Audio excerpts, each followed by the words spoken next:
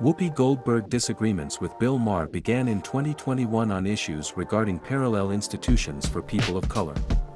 Also in 2022 they had difference of opinion on COVID mandates.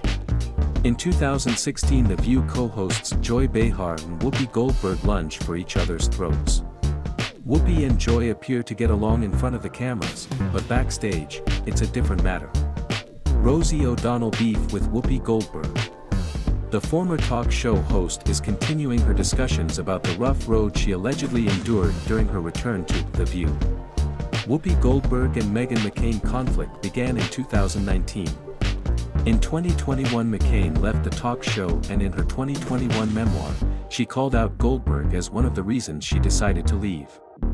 Whoopi Goldberg slammed Roseanne Barr in 2018 for reposting a doctored photo of her at the Women's March.